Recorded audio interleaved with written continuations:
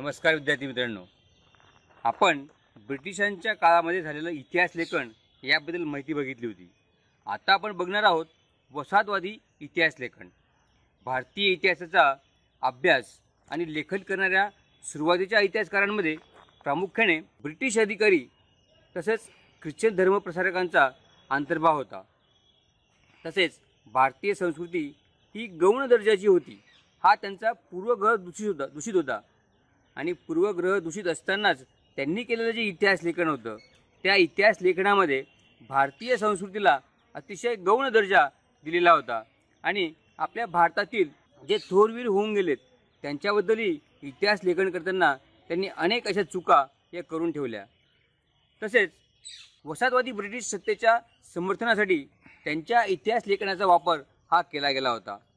एकोणीसशे बावीस ते एकोणीसशे सदोतीसच्या दरम्यानमध्ये झालेले जे काही प्रसिद्ध केम्ब्रिज हिस्ट्री ऑफ इंडिया हा जो हा जो काही ग्रंथ होता हा ग्रंथ पाच खंडामध्ये प्रकाशित केला होता.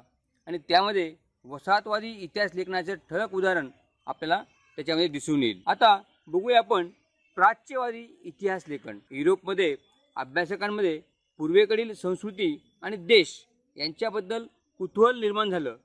आणि त्याबद्दल त्यांनी आदर कौतुक असलेलं अभ्यासक त्यांच्यामध्ये होते त्यांनाच आपण प्राच्यवादी असं म्हटलेलं आहे. प्राच्यवादी अभ्यासकांनी संस्कृत आणि युरोपीय भाषांमधील साधर्माचा अभ्यास केला तसेच वैदिक वाड्मय आणि संस्कृत साहित्याचा त्यांनी अभ्यास करण्यावर प्राच्यवादी या विद्वानांचा भर होता आणि त्यातूनच भाषांची जननी असणारी एक प्राचीन इंडो युरोपियन भाषा निर्माण झाली अशी कल्पना मानली जाते. तसेच सर विल्यम जोन्स यांनी कोलकाता येथे एशियाटिक सोसायटीची स्थापना केली होती. आणि या माध्यमातून प्राचीन वाङ्मय आणि इतिहास याचा अभ्यासाला त्यांनी चालना दिली. तसेच प्राच्यवादी अभ्यासकांमध्ये फ्रेडरिक मॅक्स मुलर या जर्मन अभ्यासकाने संस्कृत साहित्यामध्ये त्यांना विशेष रस रस होता. त्यांनी हितोपदेश या संस्कृत ग्रंथाचा जर्मन भाषेमध्ये अनुवाद केला. तसेच the sacred books of the east या नावाने पन्नास खंड हे संपादित केले. तसेच ऋग ऋग्वेदाचे संकलन करण्याचंही काम त्यांनी केलं होतं. तसेच ऋग्वेदाचा जर्मन भाषेमध्ये अनुवाद करण्याचंही काम त्यांनी केलं होतं. आता बघूया आपण राष्ट्रवादी इतिहास लेखन म्हणजे काय? एकोणीसाव्या विसाव्या शतकामध्ये इंग्रजी शिक्षण पद्धतीमध्ये ज्यांनी शिक्षण घेतलं ज्यांनी अभ्यास केला त्यांनीच आपल्या भारतीय संस्कृतीमध्ये जे काही लिखाण होतं त्या लिखाणांचा त्यांनी अभ्यास केला होता. आणि त्याच अभ्यासकांचाच प्राचीन वैभवाचा अभिमान आणि भारतीय आत्मजाणीव जागृत करण्याकडे त्यांचा कल होता. आणि त्याच माध्यमातून त्यांनी जे लेखन केलं त्या लेखनाला राष्ट्रवादी इतिहास लेखन असं आपण म्हणतो. आपल्या महाराष्ट्रामध्ये विष्णू शास्त्री चिप चिपळूणकर असतील त्यांचंही लेखन अतिशय प्रेरणादायी आहे. ब्रिटिश अधिकाऱ्यांनी जे काही प्राचीन पूर्वगृह दूषित असलेलं जे काही इतिहास लेखन केलं होतं ते लेखन त्यांनी बदलून काढलं. त्याच्यामध्ये त्यांनी बऱ्याचशा दुरुस्त्या केल्या. इतिहासातील सुवर्णकाळ शोधण्याचा त्यांनी प्रयत्न केला. तसेच ऐतिहासिक जे काही वास्तव होतं ते वास्तव मांडण्याचा त्यांनी प्रयत्न केला.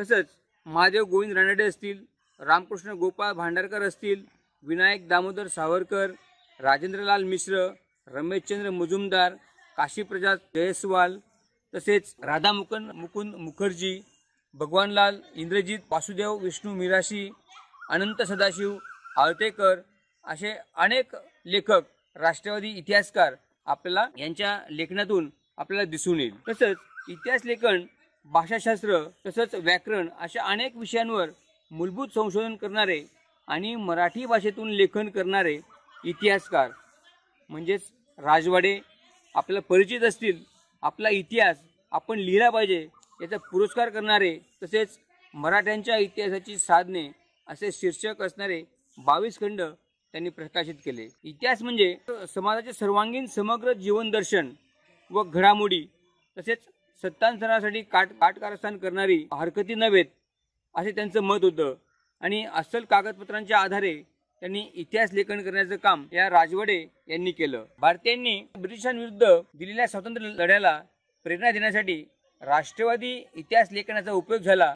त्यामध्ये स्वातंत्र्यवीर विदा सावरकरांनी लिहिलेलं the Indian war of independence म्हणजे अठराशे सत्तावन्नचा जो स्वातंत्र्य समर झाला त्या स्वातंत्र्य समरचं पुस्तकाचं विशेष महत्त्व आज आहे. राष्ट्रवादी इतिहास लेखनाच्या प्रभावामुळे प्रादेशिक इतिहास लिहिण्यातही चालना मिळाली.